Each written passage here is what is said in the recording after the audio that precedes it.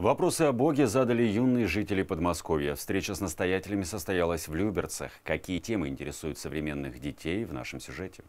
Зачем нужны пожертвования, как сохранить мотивацию и почему важен диалог с неверующими? Эти и другие темы обсудили священнослужители и юные прихожане. Так отметили День православной молодежи. Суть церкви – это продолжающийся в Духе Святом реально живой действующий Христос в сердце каждого человека. Понимаете? Это продолжение Христа в нас. Вот что такое настоящая церковь. Послушать, что такое настоящее православие, приехала и Ярослава Столбова. В родной Гжеле девушка активно участвует в церковных мероприятиях.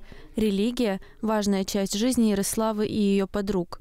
Мне захотелось узнать, естественно, побольше, потому что ну, любая информация – это ну, очень полезно. Мне захотелось послушать ответы и вопросы, э, узнать что-то новое.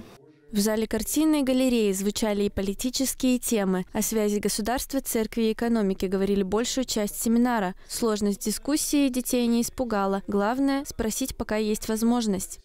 Как я сейчас вижу, молодежь активно задает вопросы, интересные вопросы, актуальные, живые вопросы. Вот. Ну и потом еще польза. Молодежь из разных городов между собой общается, видит своих старых знакомых по каким-то совместным проектам. По-моему, все здорово. Живой диалог длился два часа, а те, кто не успел задать вопрос, смогут сделать это на следующей встрече. Айтадж Чирагова, Сергей Гвоздев, телеканал ЛРТ.